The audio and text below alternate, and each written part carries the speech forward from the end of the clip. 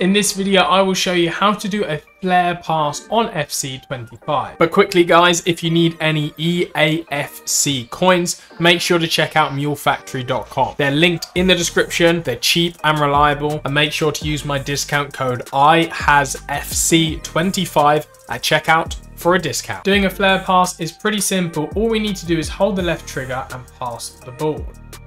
Depending on the player, if they have a flair trait, you may get a more advanced flair pass, but simply hold the left trigger and pass the ball, and we will get our flair pass.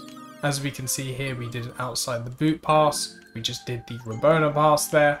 It's pretty simple, and yeah, I hope you enjoyed this video. Thank you for watching this one, and I will see you next time.